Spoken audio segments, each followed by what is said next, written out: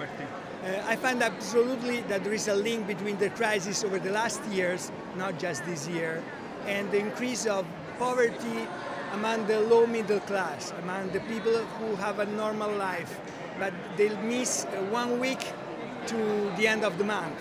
Or now in this moment, uh, they need, uh, uh, probably there is a problem with housing, uh, paying the rent. In Italy, we do not have the structural instrument to fight uh, structural poverty, that is the salary of the minimum wage of uh, social uh, integration.